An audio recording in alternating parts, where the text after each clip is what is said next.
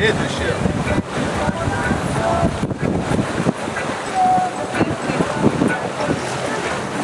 Smile, Maggie. Max, keep it up because we want to leave Eagle Island to starboard, okay? I gotcha. I know. This feels good right now.